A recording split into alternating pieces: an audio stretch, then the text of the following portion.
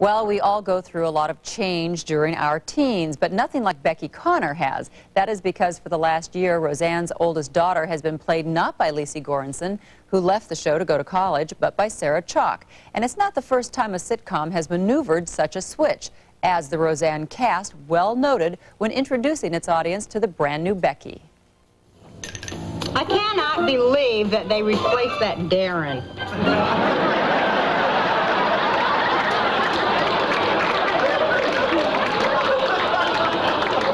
But it was a hit show. They knew they could get away with anything. Oh, well, I like the second Darrin much better.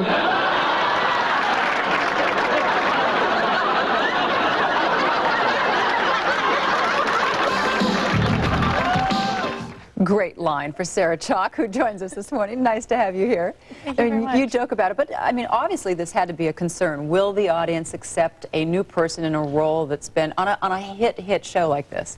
Initially, that was definitely very intimidating because I think um, replacing another character is much different than anything I'd ever done, and it comes along with a great deal of expectations. But I guess I just had to try and not concern myself with that and do my best. And w- did you get any advice as far as you know, try to keep keep as much maybe Mm-hmm. like the old Rose, uh, like the old Becky before you know before you try to start things new? Yeah, exactly. They definitely wanted me to keep as much to the old Becky as possible. Yeah. Did Roseanne give you any advice on this?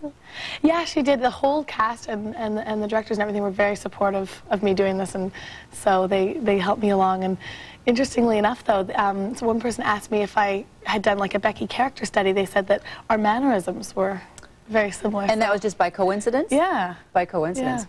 Well, now you come from Vancouver, right? yes. So now you had to move to LA. And I remember you said when you first came to the show, I'm not going to let my life change. I want to keep it as normal as possible. I'm not sure that's possible. Moving to LA and being in the spotlight of a hit show, how was that first year? Well, I was anxious that my life would change because my, I just loved my life how it was, and I didn't want it to change too much. But I've really learned over the past year that, you know, change doesn't have to be a negative thing, and that my life has changed to a certain extent, but I've managed to keep a nice balance going back and forth between Vancouver and Los Angeles. Yeah, you commuted back and forth so you could finish high school, right? Yeah, it was really important to me to graduate with my friends that I'd gone to high school with Yeah. all my life. So um, I, I went back and forth, and that, that got pretty challenging at times. I'll bet it did. Taking- Now, they're all away at college now, and I know you've gone and visited them, and uh, you've taken the year off, which is, I took a year off to just do the show, and then you plan on going to college later. In a tiny way, have you been envious of them?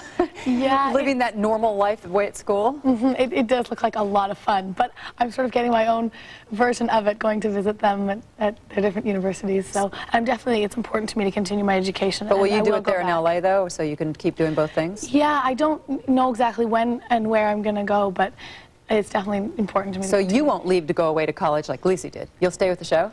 Yeah, I'll stay on the show. And, now Roseanne, who is pregnant and who's getting married soon, Mm-hmm. the doctors have told her she has to stay in bed. How, how does that affect you guys on the show? oh, everything's going fine. She's taking precautionary measures. as And you guys can ride person would, around but, that?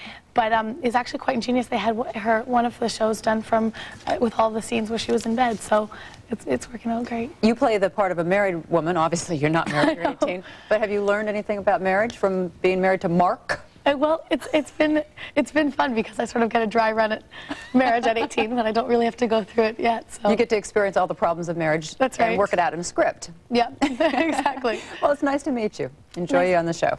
Thank you very much. Playing Becky, the second one to play Becky. When we come back, we'll talk about, uh, in our To Your Health segment, about some alternative medicine when Good Morning America continues here on ABC.